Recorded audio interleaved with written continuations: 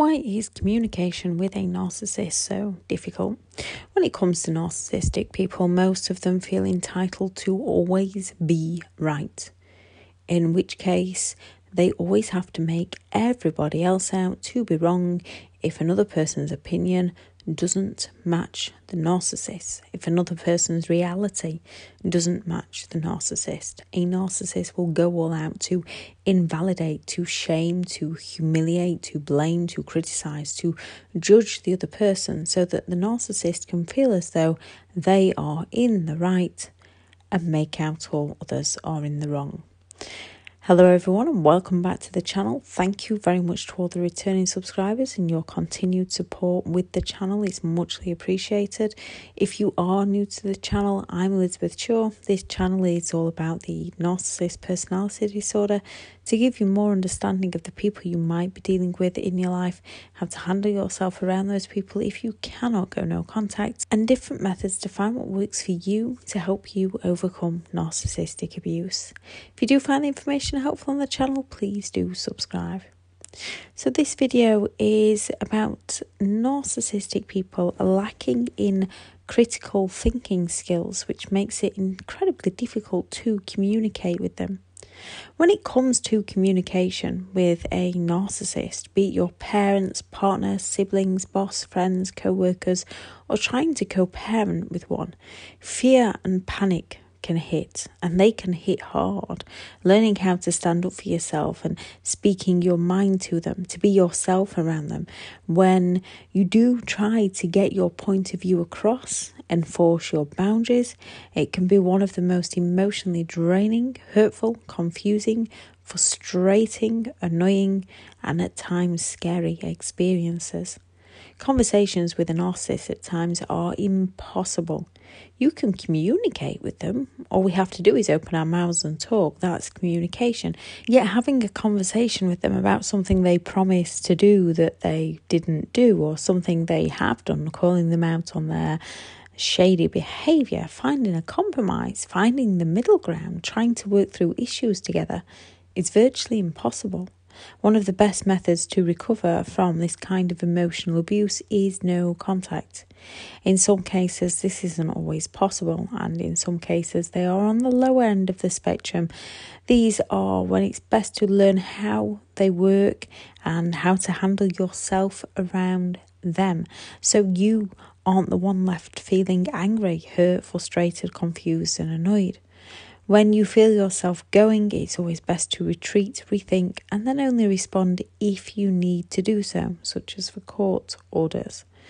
A conversation with a narcissist is crazy making. They will provoke you to get reactions from you so they can blame everything on you. They will switch the topic of conversation, talk over you, play the victim, gaslight you, guilt trip you, triangulate you, fall silent on you, rage at you, especially when they don't get what they want or what they believe they're entitled to.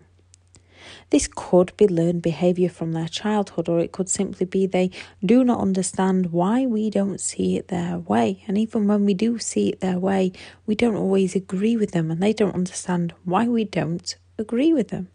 Just like we don't understand to begin with how they don't understand us, yet we're capable of learning as they don't sometimes understand a simple conversation, they can take things as criticism if it doesn't match exactly what they think, provoking their defense mechanisms and creating rage and anger within them, even though that's not our intention, or when you just want them to say sorry for something they did, give you closure, that they, they are unwilling and they are unable. Now, some are highly toxic and dangerous. These are more than narcissistic sociopath or narcissistic psychopath. Only you know the kind of narcissist you're dealing with. But the more you stand your ground with them, the more all hell seems to break loose. You are left constantly on the lookout for their next game. So here's a little more information on why a narcissist cannot see your point of view and always seems to work against you, as it's always their way or you will suffer way. It doesn't have to be that way. You can lead them to think something was their idea, true to narcissistic form. If they believe it's their idea, they will go with it, they will run with it.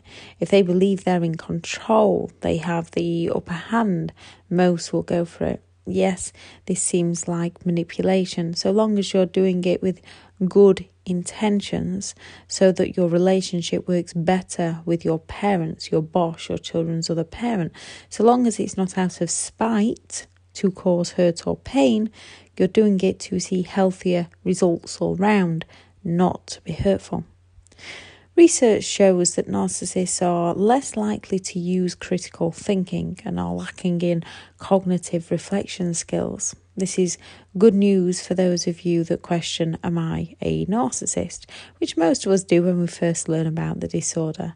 Another reason you're not, when you overthink and over reflect and question so much from your past, also another reason why narcissists act on impulse and can simply walk away, taking everything with them without a glance back. Grandiose and vulnerable narcissists differ in their cognitive reflection skills. The grandiose narcissist is the type most people think about when they heard the word narcissist. That arrogance, that sense of superiority, their entitlement, and they come across as having very high self esteem, very confident, which is their arrogance, uh, extroverted to the outside world whereas the fragile or the vulnerable, the covert narcissist, can come across as insecure to those closest to them. They are more defensive and more reactive, often, yet not always more introverted. Most narcissists do act on impulse and are unable to reflect on what they did wrong, while others are more calculated and once they've made a choice are less able to reflect on that choice. Both the grandiose and the vulnerable narcissist are self centered. They can be highly impulsive, even if they don't act on impulse all the time. Once they've made their mind up, once they've made a decision, once they've made a choice, they stick with it. They don't have the ability to reflect correctly, to see it from another person's viewpoint. They're lacking the empathy to see it from how another might see it or to change their mind. Once they've set a plan into action, they just roll with it and stick to their truths, their false reality. A vulnerable narcissist is most likely to reflect temporarily but only in a process which is namely me, myself, and I, and everybody else is to blame for everything that's gone wrong in their life, and not usually for the benefit of others or for learning from their own mistakes. Most narcissists seem to lack the ability to make a choice based on critical thinking skills, even when they are wrong. Lacking in cognitive reflection means they are not as able as those not on the spectrum to reflect on their choices that they have made adequately. The narcissist personality disorder is on a spectrum, hence, there are those that might be able to, yet that's often rarely to never. They often revert back to their original way of thinking when their needs are met, often why you get the false apology. That's usually blamed on something you did or something someone else did. It's always that I'm sorry, you. I'm sorry if. I'm sorry, but as they try to rationalise their behaviour away with excuses by placing the blame at someone else's door. Once their minds are made up, once their needs have been met, they revert back to their negative ways. Narcissists are far less likely to use critical thinking, which is important to make good, sound decisions in life and the ability to solve problems.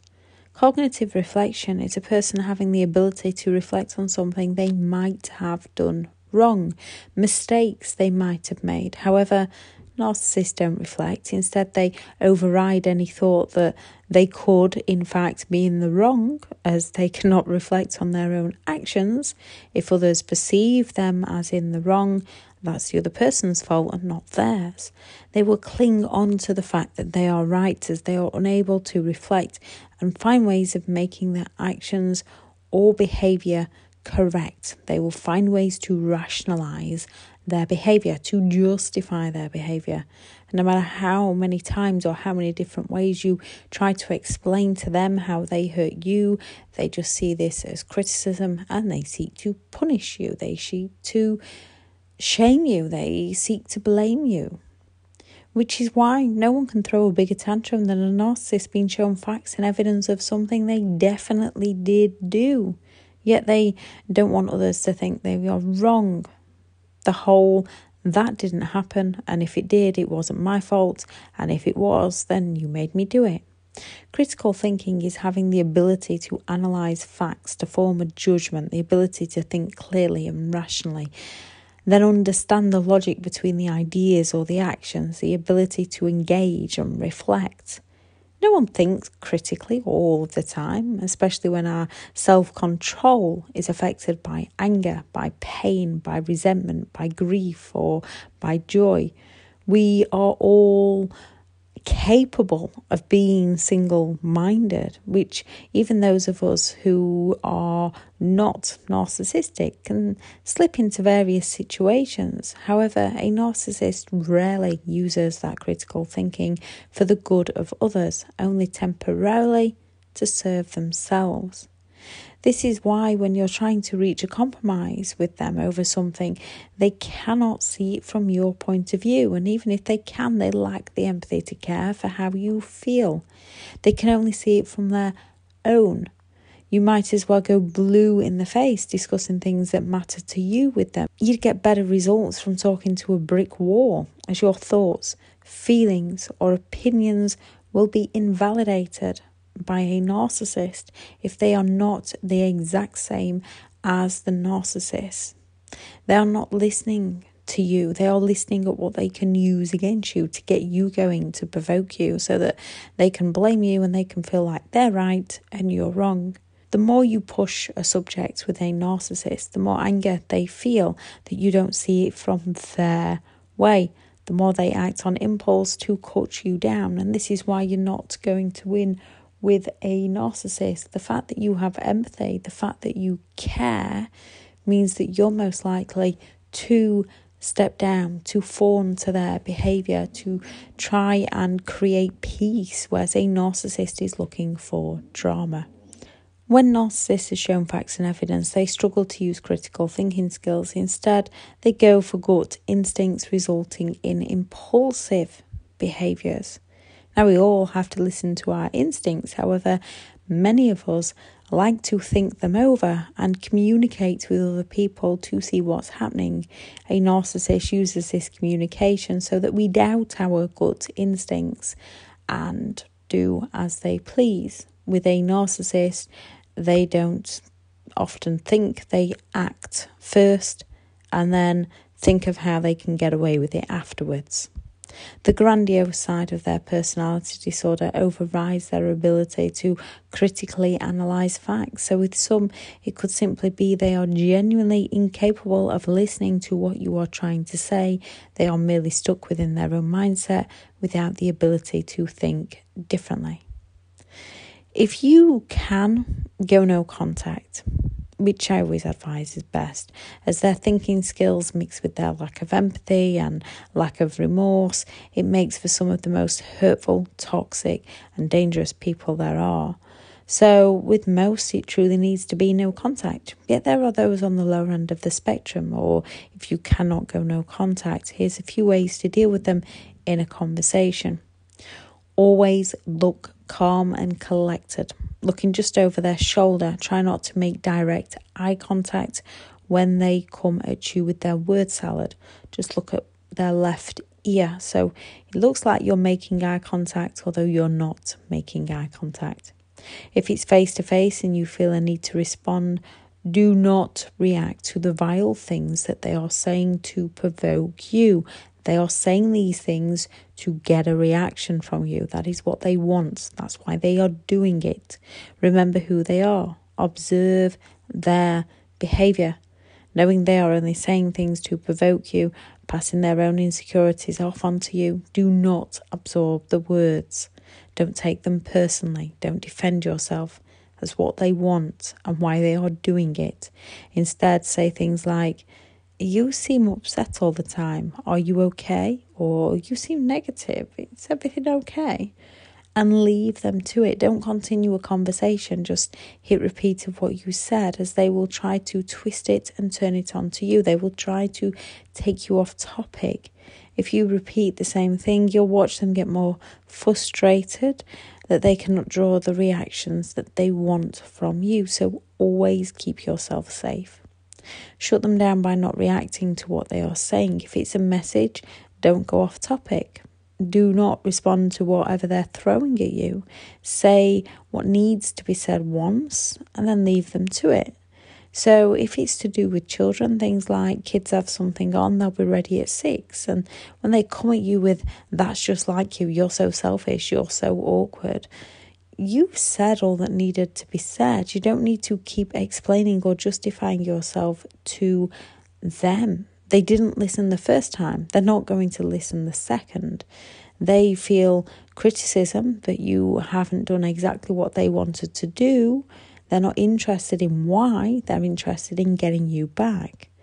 Or when they bring children home late or pick the children up late because they are the self entitled hypocrite. They are continually allowed to be late for you. They are continually allowed to let their own children down, but you are not allowed to be late for them. So when they do these games, act like it's not bothered you. Leave them to it.